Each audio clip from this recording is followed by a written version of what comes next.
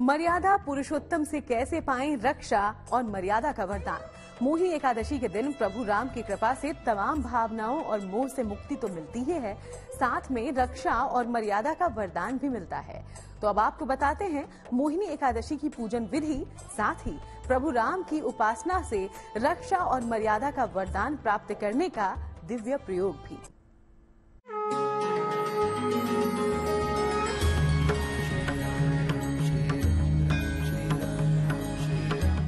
भगवान राम की उपासना का पर्व है मोहिनी एकादशी।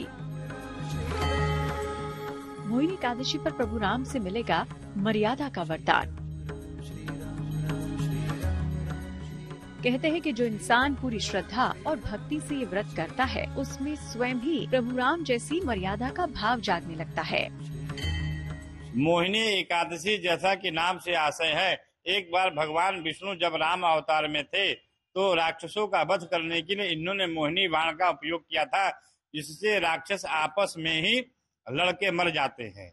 इस दिन भगवान राम का पूजन करने से हमें जितने भी भौतिक मोह है, उससे छुटकारा प्राप्त होती है।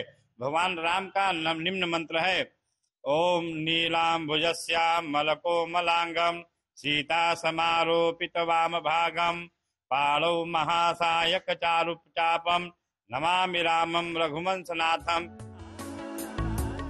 हर व्रत और पर्व पर उपासना का एक नियम है। उत्तम नियम से व्रत करने से फल भी उत्तम ही मिलता है।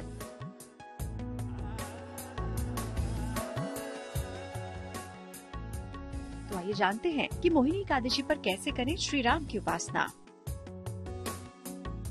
भगवान विष्णु के एक हज़ार नाम है। किसी भी नाम का हम लोग जिसका भी, जिसके प्रति हमारी श्रद्धा हो, उसका जप करने 108 बार या हज़ार बार या दस हज़ार या लक्ष्य बार जप करने से जिस प्रकार से हम भगवान विष्णु का पूजन करेंगे और जिस भावना से पूजन करेंगे, वो हमारी मनोकामना भगवान विष्णु अवश्य पूरा करते हैं। उसमें हम लोग प्रातः काल उठ करके संध्या पूजन करने के पश्चात भगवान विष्णु की माता लक्ष्मी के साथ तस्वीर लेकर उनका पूजन करें। पहले उन्हें स्नान स्नान कराकर, पंचम स्नान कराकर और धूप दीप नैवेद्य वस्त्र यज्ञोपवीत और नैवेद्य में जो भी हमारे पास पर्याप्त हो, उसका भगवान विष्णु को तुलसी दल का भोग लगाकर हमें भगवान विष्णु को प्रसन्न करना चाहिए।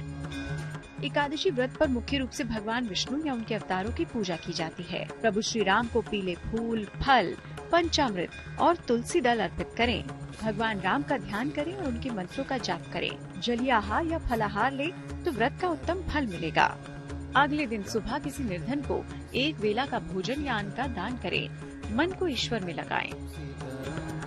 अगर आप भी किसी तरह के मोह या लोभ से छुटकारा पाना चाहते हैं तो इस मोहिनी एकादशी पर श्री राम की विधिवत उपासना कीजिए ज्योतिष के जानकारों की माने तो इस दिन श्री राम की विशेष उपासना से सुरक्षा और मर्यादा का वरदान पाया जा सकता है हमारे शरीर गवाही नहीं कर रहा है कि हम लोग एकादशी का व्रत रखें तो हम लोग व्रत में जो भी वस्तुएँ बताई गई हैं ग्रहण करने के लिए जैसे आप अष्टौ तानि व्रतज्ञानी आपो मूलम फलम पय हविर ब्राह्मण काम्या च गुरु वचनम औषधात। आठ वस्तुएँ हम लोग व्रत में हमारे शास्त्र में वर्णित है। आप मन जल होता है, जड़ युक्त जो फल होते हैं, जिसमें कि केला है या फल है, दूध है और मखाना युक्त खीर हम लोग खाकर या और औषधि भी खाते हैं तो औषधि भी व्रत में लेने का विधान बतलाया गया है। उसको लेकर हम लोग व्रत रख सकते हैं। या हमारा शरीर गवाही नहीं कर रहा है तो हम लोग उस दिन कम से कम अन्न का सेवन करें। कैसे करें प्रभु राम की विशेष पूजा? भगवान राम के चित्र या प्रतिमा के सामने बैठे, पीले फूल और पंचामृत अर्पित करें। राम रक्षा स्तोत्र का पाठ करें या ओम राम रामाय नमः का जाप करें।